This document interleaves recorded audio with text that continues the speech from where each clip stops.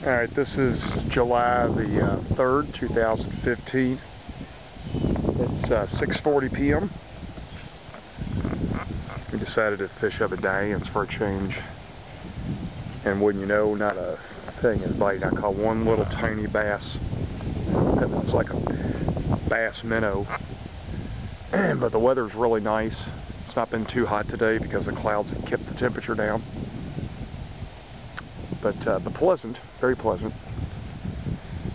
But we spent most of the day watching Wimbledon.